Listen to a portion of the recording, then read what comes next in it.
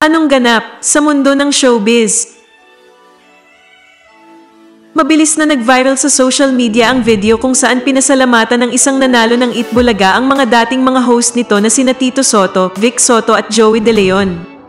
Matatandaan na kamakailan lang ay ginulat ni na Tito Vic and Joey ang publiko matapos nilang i-anunsyo ang pagkalas nila sa Tape Inc. Matapos silang kumalas ay nag-resign na rin ang mga original dub arcades gaya ni na Paulo Ballesteros, Alan Kay, Jose Manalo, Wally Bayola at marami pang iba. Maraming mga tao ang tila hindi nakapaniwala sa nangyari.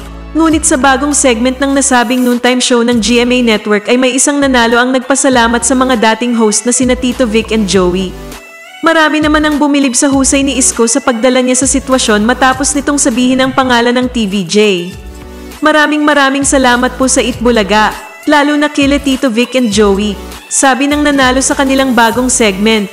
Ayon kay Isko, na ang mga nabanggit na pangalan ng nasabing contestant ay mga dati nilang kasama at hindi nila ito makakalimutan.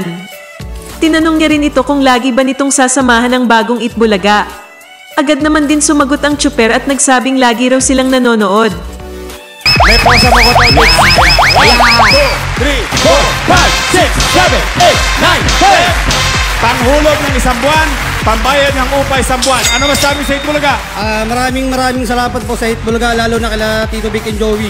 O yun, Tito Vic and Joey, yun ang mga nakasama natin nung araw. Hindi natin makakalimutan. Pero ngayon, ang bagong Itbulaga, lagi mo ba kami sasamahan? Opo, opo, lagi po kami nanonood ng pamilya ko. Anong masasabi mo sa balitang ito?